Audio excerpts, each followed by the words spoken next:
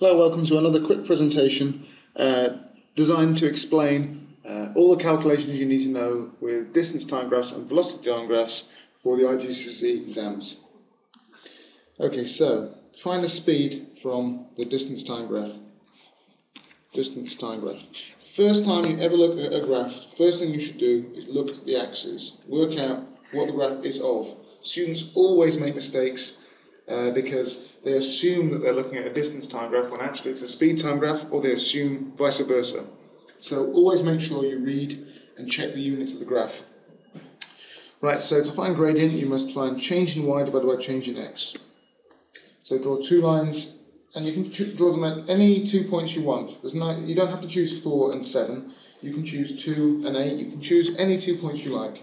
Okay, draw them straight out until they reach the line. Okay, then draw directly down from that point. Now measure the size of the change in y, okay? So it's gone from 7 to 4, 7 minus 4 gives us 3. This is 3 in uh, the change in y, okay? From 7 to 9 is 2, okay, 9 minus 7. Write down the formula for gradient, rise divided by run. Substitute the numbers in, 3 divided by 2. And we get an answer 1.5 meters, meters per second. Second, okay.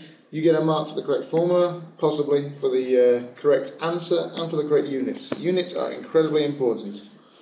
Okay, so this is a simple distance time graph. Now let's have a look at a speed time graph. Okay, so we're looking at a speed time graph. Okay, as always, you're looking at a graph, so read the axes. Make sure you've checked the axes because uh, you don't want to make the common mistake of most students. Okay? Right, so when you first look at a graph, it's really worth just trying to tell yourself the story of the graph. So I'm going to do that now. I'm at 0 seconds and I'm doing a speed of 0. I'm at 2 seconds and I'm doing a speed of about 2.5 meters per second. I'm at 4 seconds and I'm doing a speed of about 5 meters per second. Okay, so we can see that the speed is increasing, so it is acceleration. All right, so now to find uh, the acceleration from the speed time graph, we need to find the gradient of the graph, which will be the change in speed divided by the time it took to change that speed. Think about uh, when you're watching Top Gear and they say this Bugatti Veyron does 0 to 60, which is your change in velocity, in whatever it is, 2.8 seconds or something. Uh, that's a measure of acceleration. So here a measure of acceleration will be the change in velocity, which is the change in y, divided by the time, which is the change in x. So it's a gradient question. Okay, so to measure gradient, just like you did with the distance time graph, just draw two lines out. You can put them anywhere you like. You could have put them at 2 and at 8. You could have put them anywhere. Okay? Draw them out. It's better to make them widely spaced because you're more likely to get a more accurate answer. Okay? Draw two lines down. Then we need to measure the size of this. So it's from 7 and 2.5. 7 minus 2.5 gives us 4.5 meters per second was the change in speed here. Okay, and the time it took for that to happen, we've got 5 and 2, so the change is 3. Okay, so write the formula. Gradient is equal to rise divided by run. Substitute the numbers in. 4.5, 3. And again, we've got 1.5 uh, meters per second per second. Okay, so um, the gradient actually was the same as the previous question, but this time the units are different. Okay, so now we need to just tidy these units up a little bit. Okay, since meters per second divided by seconds is well very messy. Okay, maybe we think about it in another way. If you want to divide something by 2, it's the same as multiplying it by half.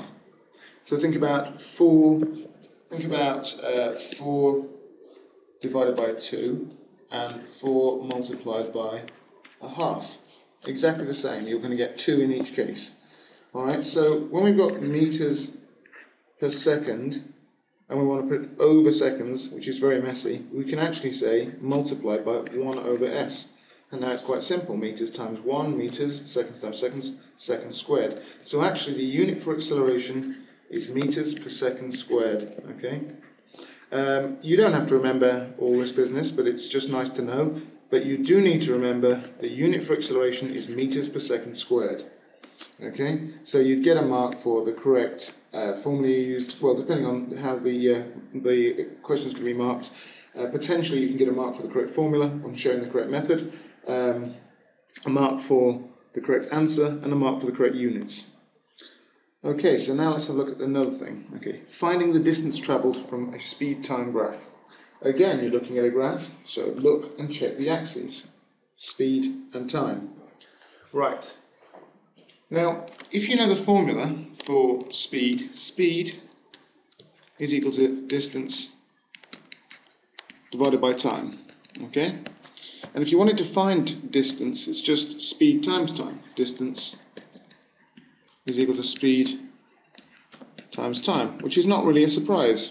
After all, if I tell you that I'm travelling at 8 meters every second, which is what this means, 8 meters every second, and I travel for 2 seconds, you'd expect it to be, I'd have covered 16 meters.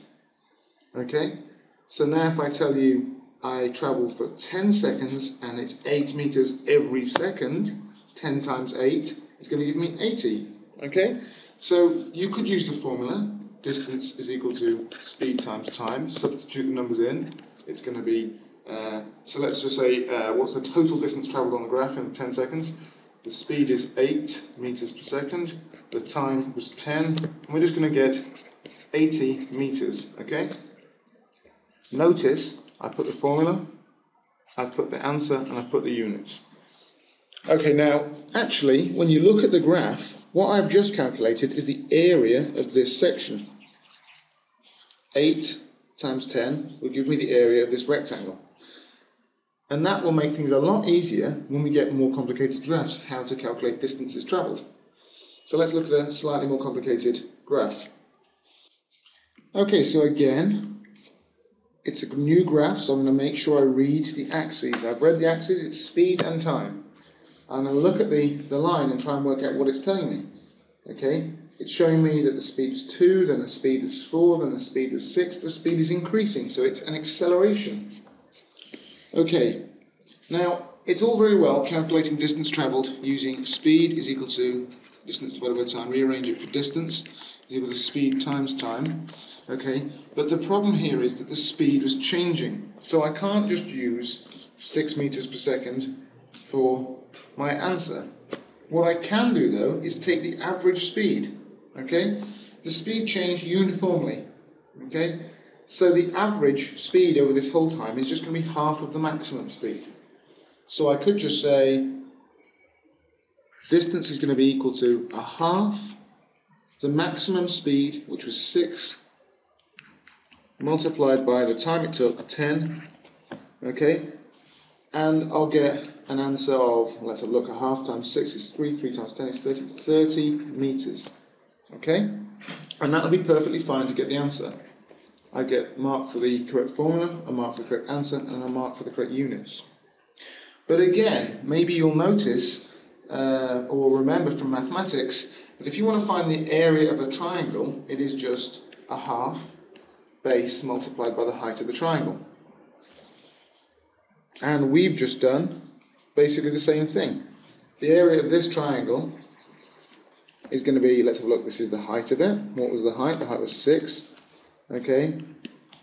The base was 10 multiplied by a half, which is, yeah, whatever, 1, one over 2. Okay, and actually, since multiplication doesn't matter the order, these two things mean the same thing. Okay, just a half base times height. Area of the triangle tells me distance travelled. Okay, key point, area underneath a speed time graph will always tell you the distance travelled. Okay, let's look at one more um, complicated example, a little bit more complicated, about as complicated as it does get.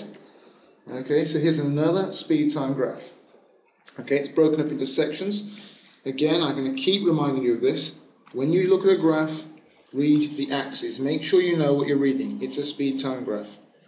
I'm going to do the same thing again. I'm going to try and tell myself the story of the graph. At zero seconds is doing zero speed.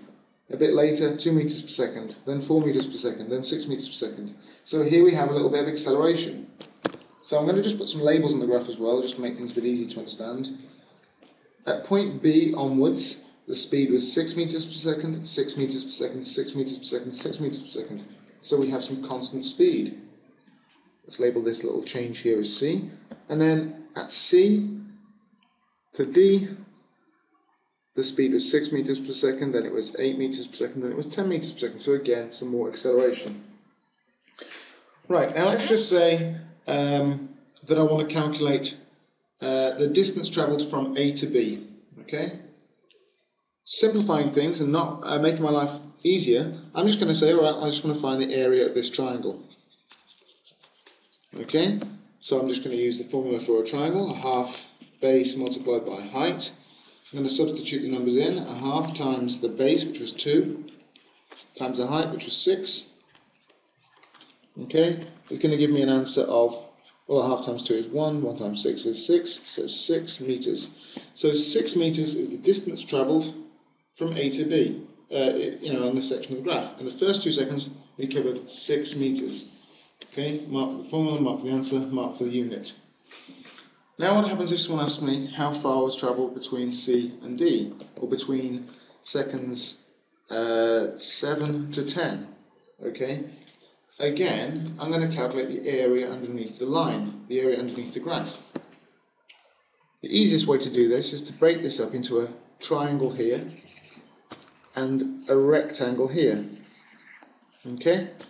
So if I calculate the area of the rectangle, that's going to be area of a rectangle is just base times height, so base times height for the rectangle.